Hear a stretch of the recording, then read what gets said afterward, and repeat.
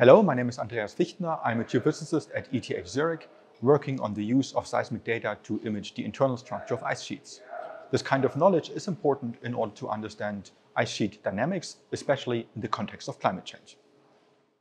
One of the best natural laboratories for this kind of research is the Northeast Greenland Ice Stream, which is one of the major contributors to current sea level rise.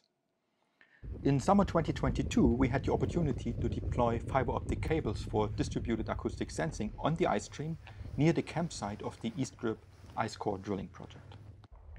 The largest and also the most unexpected seismic source was the landing of a Hercules airplane near the campsite. Its touchdown injected an amount of energy into the ice sheet that corresponds roughly to an earthquake of magnitude zero. The time-space domain recordings of this event look very complicated and it is really difficult to identify specific wave types that we as seismologists would be familiar with. Fortunately, a very simple double Fourier transform produces, without any processing, an amazingly clean frequency phase velocity representation of the data with around 15 easily visible wave propagation modes. They include multimode Rayleigh waves as well as leaky and pseudoacoustic modes.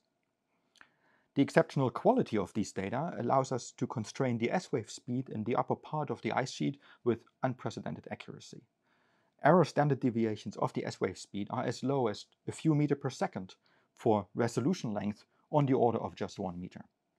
This demonstrates that the combination of distributed acoustic sensing and unconventional sources can produce absolutely remarkable seismic data for high resolution imaging.